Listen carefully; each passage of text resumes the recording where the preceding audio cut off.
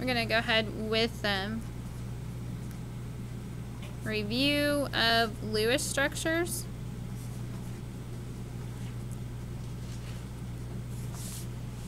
And bonds. That's pretty sloppy, but that's alright. Alright, so the first thing about Lewis structures is that we need to think about our element and we need to find out how many valence electrons that we're going to have. So if we look at fluorine, let's just start with fluorine, the most electronegative, so it's going to pull in the most electrons of anybody else. How many valence electrons does fluorine have? Has seven. Alright, so if I look at fluorine, it has seven valence electrons. One, two, three, four, five, six, seven. How many how many electrons does the octet rule say that fluorine wants to have? Eight.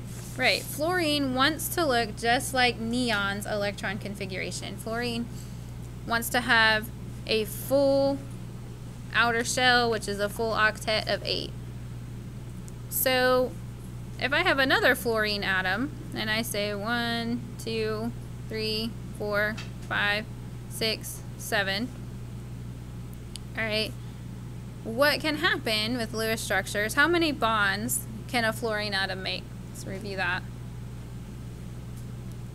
Just one, lots of one fingers. So these two lonely electrons, this electron here is lonely, it doesn't have a buddy. This one is two. These guys can make a bond. Alright. So what happens is this electron over here with our second fluorine atom can go over and fly all around our first fluorine atom. So the first fluorine atom then has one, two, three, four, five, six, seven, eight. So a full octet. The same thing on our second fluorine atom. This electron from the first fluorine atom can go fly around our second fluorine atom. And that means that this second fluorine atom has one, two, three, four, five, six, seven, eight, because that one can fly around here, eight valence electrons. And that gives it a full octet. So a bond fills the octet of each atom. Then they are shared.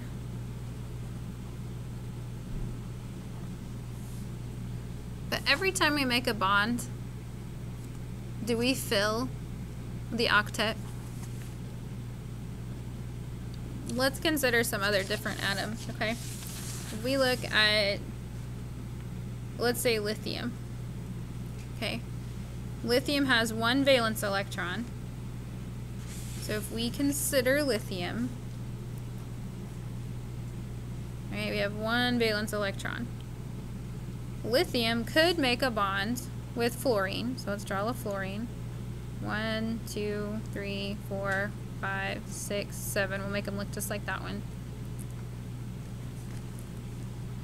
And so all of those trends are kind of coming back to be put together with this bonding thing.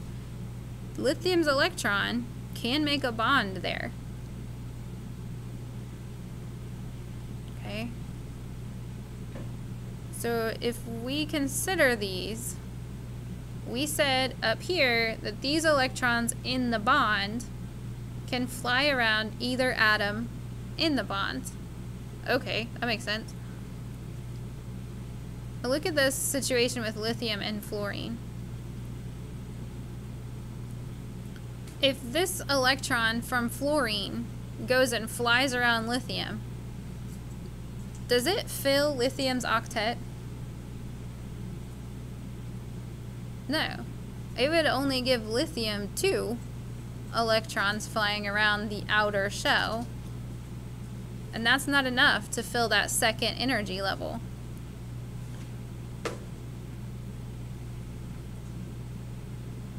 So what happens? If lithium's still not happy, even though it can make that bond, what really happens? No thoughts? Any thoughts? Here's what really happens. Lithium's little electron spends all of its time over here on fluorine. So this electron kind of stays over there. Kind of like somebody who has a best friend goes and just kind of lives there uh, at their best friend's house. You guys know people that have, that do that a lot. So then fluorine gets a negative one charge because this extra electron is now at fluorine's house all the time. If fluorine gets that extra electron and has a negative charge, what charge does that make lithium have? So let's consider we have three protons. We took away one electron, so now we only have two electrons. So what is our charge?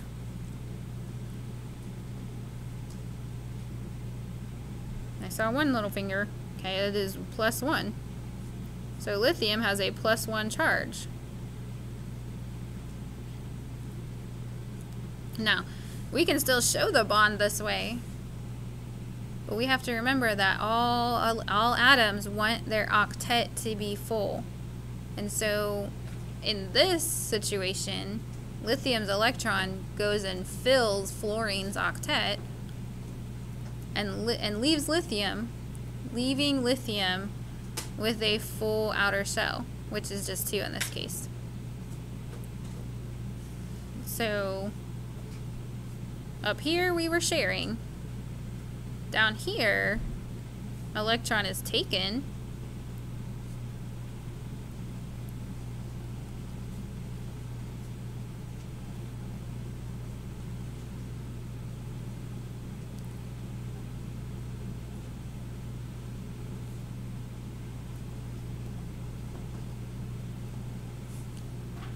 Are they both still bonds?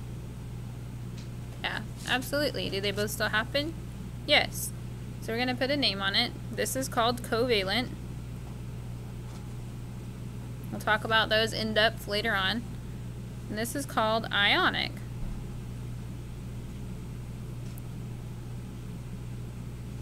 So the bottom line is still the same. We still want to fill the outer shell of each electron just that in lithium's case, having this extra electron flying around it doesn't fill the shell. So it gives up that electron. Alright. Give me a thumbs up if that makes sense. Okay. Alright. Um, I want to go over one more thing that you will encounter as you uh, as you go through these next set of questions and CK12 stuff. If I look at this bond between fluorine. How many valence electrons are there total for both of those two atoms? Well, we could count them. 1, 2, 3, 4, 5, 6, 7, 8, 9, 10, 11, 12, 13, 14. Right? Or we could do a little math. Okay? So we know that there is 7 for each fluorine atom. There's two fluorine atoms. So valence electrons times number of atoms. So we had two fluorine atoms equals 14 total valence electrons.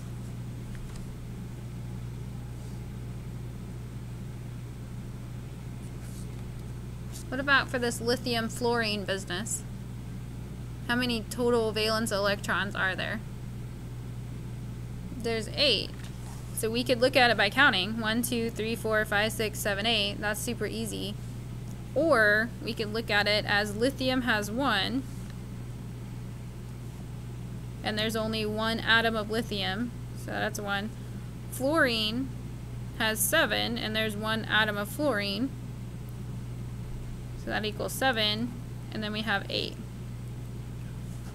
So there's two ways. You can count or you can add them up using numbers. Either way that you want to use is perfectly fine. It's your choice. But you just need to be able to tell how many total valence electrons there are. So we'll do one more practice and we'll kind of make it really a little bit more. We'll talk about it. Let's look at magnesium. How many valence electrons does magnesium have? I heard some people say two, because if we look at magnesium on the periodic table, magnesium is in the second group, has two valence electrons. We know that magnesium is also in the third period, so that means that it has to get eight. It's not a number one that can only hold two. So we're trying to get to eight. So that's why we separate our, our valence electrons. And let's look at oxygen. Okay. Oxygen has six valence electrons. So one, two, three, four, five, six. Can I make a bond there between magnesium and oxygen? I could. This lonely electron could buddy up. This lonely electron could buddy up. What do we call that bond right there? It is, it, well, what, what did we call it? It's not a single bond, but it's a, it is a double bond. Alright, now, let's dig deep into what we just did. Okay, total valence electrons.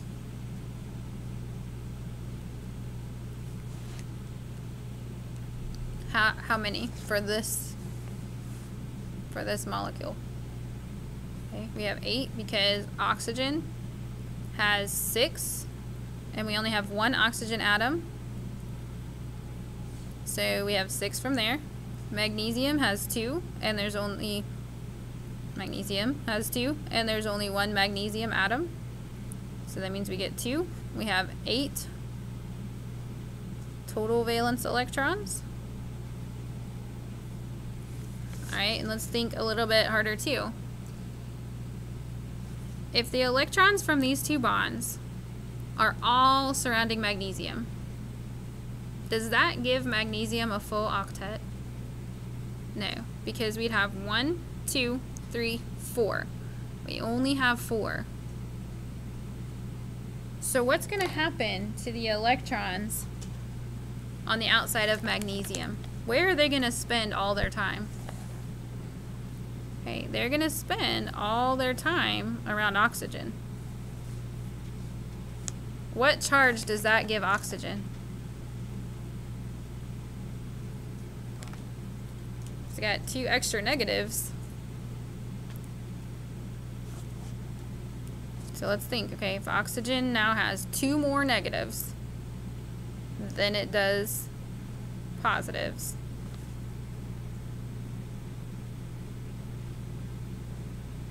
So we'll think, okay, we have eight protons in oxygen all the time because that's what oxygen does. So that's plus eight.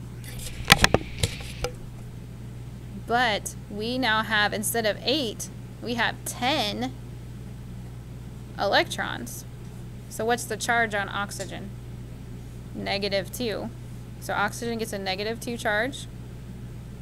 What's the charge on magnesium? Magnesium has 12 protons we took away two of its electrons, so it only has 10 electrons. Positive 2.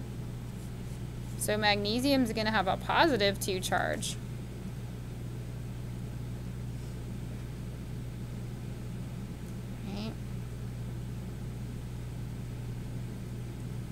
So from this we can talk a little bit about electronegativity. We can see why oxygen is more electronegative than magnesium. It wants those electrons because it fills the octet for it.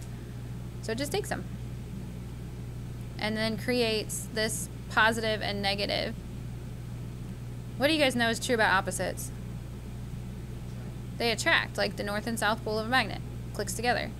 Okay, we say that about people, but I question that. So we have positive and negative, they're going to attract to each other and that's where the bond actually forms is in this um, charge that occurs to each of those atoms. All right, give me a thumbs up if that makes sense. Okay, all right, so we're just kind of getting started with this. We'll answer some questions that are in the lesson, and then I will, um, we'll get into it a little bit more tomorrow. So let's go back to the lesson.